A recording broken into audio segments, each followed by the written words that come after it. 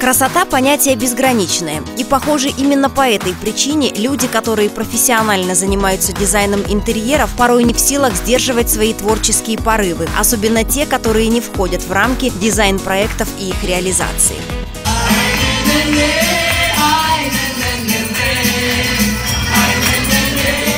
Дизайнеры очень творческие люди, поэтому я считаю, что вот сегодняшний конкурс, он к нему очень близок, потому что есть возможность показать себя, раскрепоститься, самовыразиться. Поэтому, мне кажется, это сегодня прекрасный вечер для них. Люблю петь, всегда пою, в караоке редко бываю, но дома всегда пою. Я очень люблю петь, поэтому решил принять участие.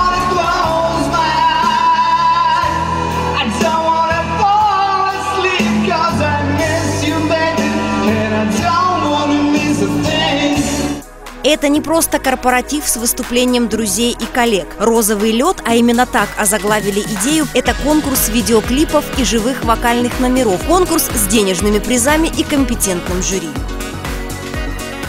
В одном месте собрать всех самых замечательных дизайнеров, это уже идея хорошая. Пора самим уже браться за песню, потому что дизайнер, он а, не только делает дизайн дома и прочее, прочее, он и песню украшает по-дизайнерски, по-своему. Поэтому мне стало интересно, а как они смогут преобразить эту песню? Это расширяет круг знакомств, круг интересов, и ты в себе всегда открываешь что-то новое, какие-то новые способности, возможности. Цыганская песня, рэп, классический рок и музыка кино. Диапазон дизайнерских интересов сравним с ассортиментом салона обоев. Что касается мастерства перевоплощения, и здесь не придерешься.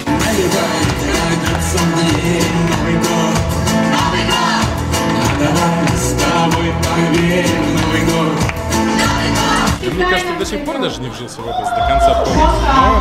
Но старался как мог. Достаточно времени хотя бы было как бы ограниченное количество, но старались. Все придумывали на ходу, буквально за один-два дня. Костюм вообще вот прям буквально родился сегодня днем. Заряжаешься, пока готовишься к выступлению, потом заряжаешься, когда выступаешь. Ну и вот это намного... Я считаю, что каждый человек сам себе делает праздник. Победа в конкурсе, конечно же, важна, но она ничто в сравнении с творческим удовлетворением и зрительским восторгом. В этот вечер коллеги, которые давно знакомы, узнали друг друга в новом качестве. Ну или, по крайней мере, лишний раз убедились в том, что талантливый человек талантлив во всем.